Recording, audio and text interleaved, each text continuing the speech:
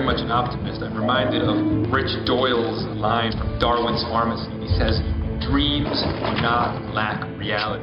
They are real patterns of information. Where when the Imaginary Foundation says that the role of human imagination is to conceive of all these delightful futures, choose the most amazing, exciting, and ecstatic possibility, and then pull the present forward to meet it. That is what we do. We bring our imaginings into existence. But I think that as technology has advanced, we have um, found ways to outsource our mental capacities to our tools so much more. Our ability to manipulate the physical world has increased in an exponential fashion. So we've been able to shrink the lag time between our imaginings and their instantiation in the real world. David Deutsch speaks in his new book, The Beginning of Infinity.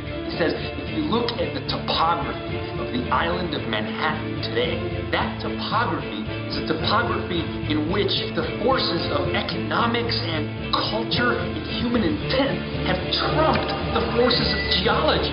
I mean, the topography of Manhattan today is no longer shaped by mere geology. It's shaped by the human mind and by economics and by culture.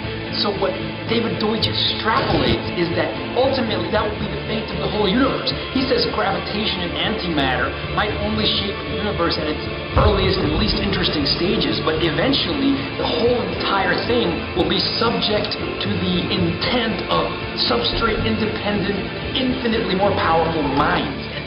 Conceive of that just it makes me feel ecstatic.